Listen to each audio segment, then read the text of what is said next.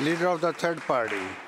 Thank you, Honourable Speaker. I have two sets of introduction in the gallery today. Well, on Monday, my colleague from Saanich North in the island introduced his A-team from his constituency office. So I'd like to in introduce my A-team from my constituency office.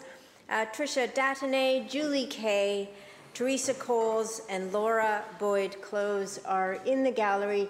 They are powerhouse women. They make a powerhouse team. I respect and admire them so much, and I'm so grateful for the service that they bring to the people of Cowichan Valley.